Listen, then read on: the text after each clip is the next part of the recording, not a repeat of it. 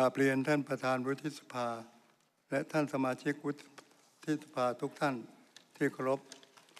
กับผมพลเอกอูดเบื้องบน ในฐานะประธานคณะกรรติการสามัญเพื่อทำหน้าที่ตรวจสอบประวัติ ความประพฤติ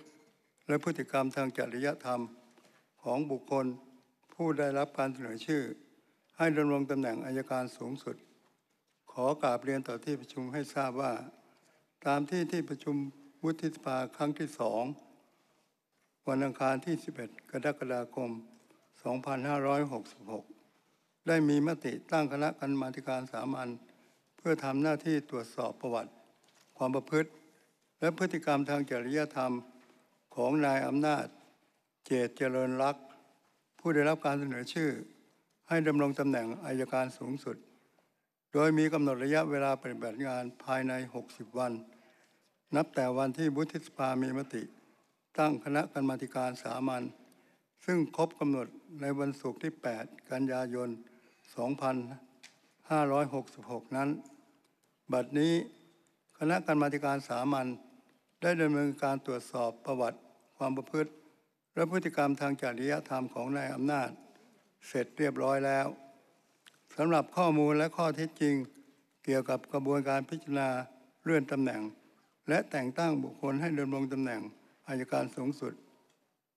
ในคราวที่คณะกรรมการสามัญเชิญนายเพชระยุติธรรมดำรง ประธานคณะกรรมการอายการ และนายเพียรศักดิ์สมบัติทองอธิบดีอายการสำนักงานคณะกรรมการอายการ ในฐานะเลขานุการคณะกรรมการอายการเข้าร่วมประชุมนั้น คณะกรรมาการสามัญ ได้ระบุรายละเอียดของกระบวนการดังกล่าว ไว้ในเอกสารประกอบการพิจารณา ซึ่งเป็นรายงานเปิดเผย